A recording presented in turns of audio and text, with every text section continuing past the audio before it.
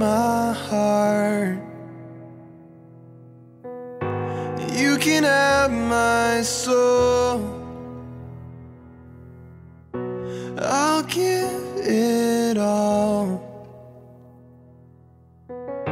Come take control. To my lover, my best friend, my wife. Seven years ago, I sent you a friend request on Facebook, not knowing where it would go. Fast forward seven years, we got three boys standing beside us.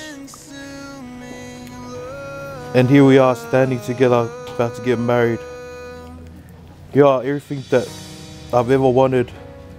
Thank you for your unconditional love.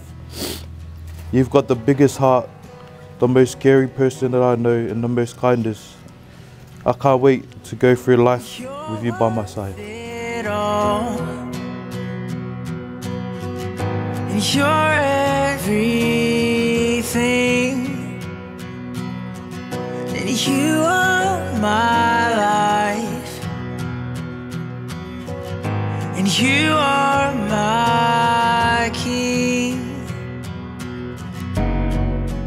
My dearest lover and best friend,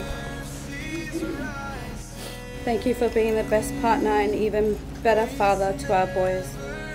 I've seen you through our very highs and our very lows, and through it all, I still choose you. I promise to always be here for you and our babies till the day we grow old and grey. Thank you for being the greatest father to our baby Cassidy. He would have never known a father's love if it was never ever for, for you. When my big brother met you, he said to me, Celia, I love this guy, and this is the guy I want you to marry. And in my heart, I was full. I've never been loved in the way that you love me. So thank you for choosing me over and over again.